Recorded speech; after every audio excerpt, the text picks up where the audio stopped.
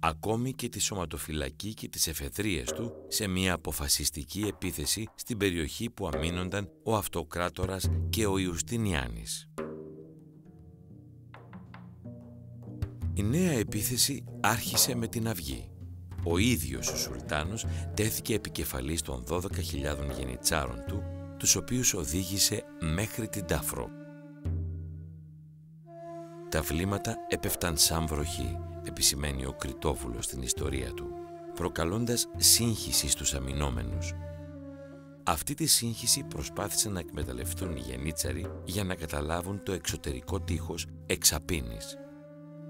Ο Ιουστινιάνης και το μικρό σώμα των υπερασπιστών που τον περιβάλλει υποδέχτηκαν τους επιτιθέμενους με λόγχες, πελέκης, ακόντια, ξύφη. Η μάχη σε σύντομο διάστημα μετατράπηκε σε σύγκρουση σώμα με σώμα. Την ίδια στιγμή, βορειότερα της πύλης της Αδριανούπολης, κοντά στο ανάκτορα του Πορφυρογέννητου, όπου το τείχος γίνονταν ουσιαστικά μονό και χωρίς τάφρο, μια μικρή πύλη, σχεδόν υπόγεια, η οποία συνέδεε την πόλη με τον περίβολο του τείχους, είχε μείνει στη διάρκεια της επίθεσης αφύλακτη. Ήταν η Κερκόπορτα. Από αυτή μπήκε ένας μικρός αριθμός γενιτσάρων στο χώρο ανάμεσα στα δύο τείχη που επιτέθηκαν από τα νότα στους υπερασπιστές του εξωτερικού τείχους και τους ευνηδίασαν. Σύντομα ο αριθμός τους αυξήθηκε και οι συγκρούσεις επεκτάθηκαν και προς την πύλη της Αδριανούπολης. Τα αυτοκρατορικά και βενετικά λάβαρα που βρίσκονταν στους προμαχώνες αντικαταστάθηκαν από τουρκικά. Οι λίγοι Τούρκοι όμως που είχαν εισέλθει από εκείνο το σημείο στην πόλη και κατευθύνονταν προς το παλάτι των Βλαχερνών αντιμετωπίστηκαν με επιτυχία από το στρατιωτικό σώμα των αδελφών Μποκιάρτη, οι οποίοι κατάφεραν να ανακτήσουν τον έλεγχο της περιβόλου.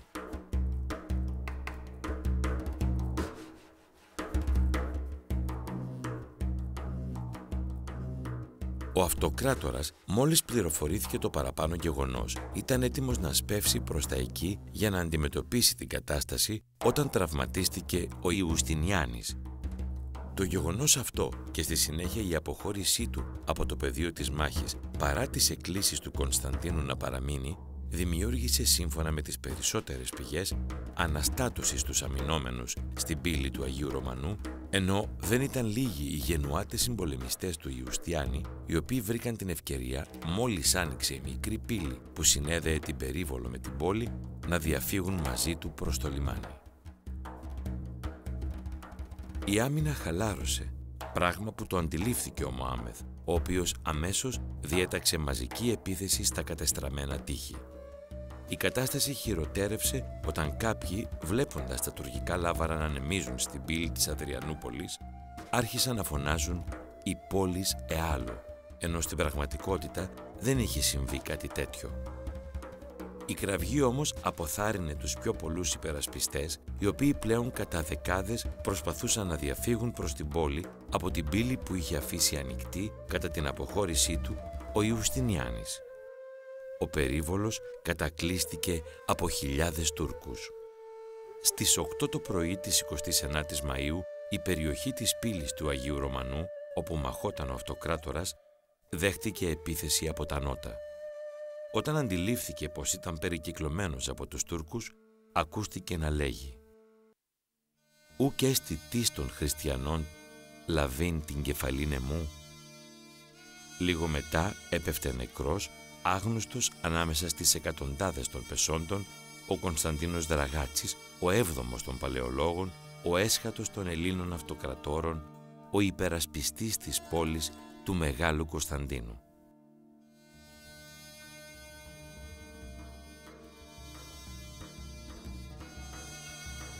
Η κραυγή ότι η πόλη είχε χαθεί αντίχησε στους δρόμους.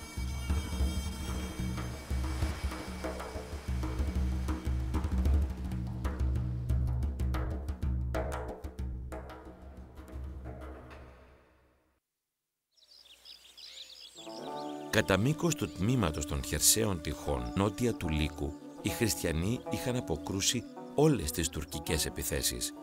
Αλλά τώρα το ένα σύνταγμα μετά το άλλο έμπαιναν μέσα από τα ανοίγματα του φράχτη και απλώνονταν και προς τις δύο πλευρές για να ανοίξουν όλες τις πύλες. Οι στρατιώτες επάνω στα τείχη βρέθηκαν περικυκλωμένοι και πολλοί σκοτώθηκαν ή συνελήφθησαν εχμάλωτοι. Ο Σουλτάνος διατήρησε τον έλεγχο μερικών συνταγμάτων για να του χρησιμεύσουν ως συνοδεία, αλλά τα περισσότερα στρατεύματά του ήδη διψούσαν να αρχίσουν τη λαιλασία. Ιδιαίτερα οι ναύτες, καθώς φοβούνταν ότι οι στρατιώτες θα τους προλάβαιναν. Ελπίζοντας ότι το φράγμα θα εμπόδιζε τα χριστιανικά πλοία να ξεφύγουν από τον κεράτιο, εγκατέλειψαν τα πλοία τους για να βγουν στη στεριά. Η απληστία τους έσωσε πολλές χριστιανικές ζωές. Όταν διαπίστωσε ότι η πόλη είχε πέσει, ο Βενετός Αλβίζο Διέντο, ως διοικητής του στόλου, έπλευσε με μια μικρή βάρκα στο πέραν. Τα βενετικά του πλοία, υποσχέθηκε, θα συμμορφώνονταν με οποιαδήποτε απόφαση έπαιρνε ο Ποντεστά που είχε κλειδώσει τις πύλες του πέραν. Ο Διέντο, μαζί με τον οποίο ήταν ο χρονογράφος Μπάρμπαρο, δεν μπορούσε να επιστρέψει στα πλοία του. Αλλά οι γενοβέζοι ναύτες των πλοίων που είχαν αγκυροβολήσει κάτω από τα τείχη του πέραν έκαναν γνωστή την πρόθεσή τους να αποπλέψουν και επιθυμούσαν να έχουν την υποστήριξη των Βενετών. Μετά από επιμονή τους, επιτράπηκε στον Τιέντο να φύγει με το πλοιαριό του. Εκείνος πήγε κατευθείαν στο φράγμα που ήταν ακόμη κλειστό και δύο ναύτες του έκοψαν με τσεκούρια τα λουριά που το συγκρατούσαν. Εκείνο παρασύρθηκε από τους πλωτήρες του. Έτσι ο Τιέντο απέπλευσε και επτά γενοβέζικα πλοία έπλευσαν πίσω του. Λίγο αργότερα συνενώθηκαν μαζί τους τα περισσότερα βενετικά πολεμικά πλοία, τέσσερις ή πέντε από τις γαλέρες του αυτοκράτορα και ένα ή δύο γενοβέζικα πολεμικά πλοία. Αφού πέρασε το φράγμα, ολόκληρος ο Στολίσκος παρέμεινε για περίπου μία ώρα στην είσοδο του Βοσπόρου για να δει εάν θα ξέφευγαν άλλα πλοία. Έπειτα εκμεταλλεύτηκαν τον ισχυρό βοριά που φυσούσε για να διαπλέψουν την προποντίδα και μέσω των Δαρδανελίων προς την ελευθερία. Ο Ντιέντο κατάφερε να φτάσει στη Βενετία όπου υπήρχε και το παλάτι της οικογένειάς του. Ο τάφος του βρίσκεται στην εκκλησία των Αγίων Ιωάννη και Παύλου.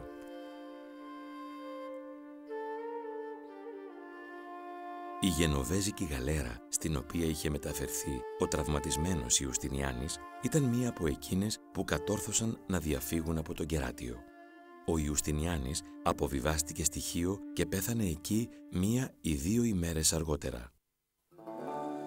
Στη βιασύνη τους για λαφυραγωγία, οι Οθωμανοί ναύτες είχαν εγκαταλείψει τόσα πολλά από τα πλοία τους, ώστε ο Τούρκος ναύαρχος ήταν ανίσχυρος να σταματήσει τη φυγή του στόλου του Διέντο με όσα πλοία του ήταν ακόμα επανδρομένα, έπλευσε μέσα από το σπασμένο φράγμα στον Κεράτιο. Εκεί στο λιμάνι παγίδευσε τα πλοία που είχαν παραμείνει, άλλες τέσσερις ή πέντε αυτοκρατορικές γαλέρες, δύο ή τρεις γενοβέζικες γαλέρες και άοπλα βενετικά εμπορικά πλοία. Οι κριτικοί ναύτες τους τρεις πύργους κοντά στην είσοδο του Κερατίου εξακολουθούσαν να αντιστέκονται. Νωρίς το απόγευμα όμως παραδόθηκαν υπό τον όρο ότι η ζωή και η περιουσία θα παρέμεναν άθικτες. Τα δύο πλοία τους ήταν αραγμένα κάτω από τους πύργους, ανενόχλητοι από τους Τούρκους, των οποίων είχαν κερδίσει το θαυμασμό, τα καθέλκυσαν και απέπλευσαν για την Κρήτη.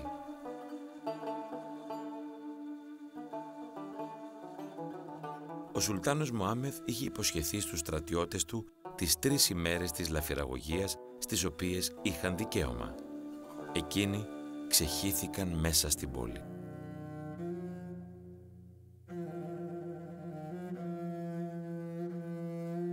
Στην αρχή δεν μπορούσαν να πιστέψουν ότι η άμυνα είχε τελειώσει.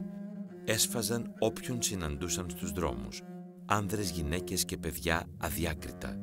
Το αίμα έτρεχε σε ποτάμια, αλλά σύντομα η δίψα για αίμα κατευνάστηκε.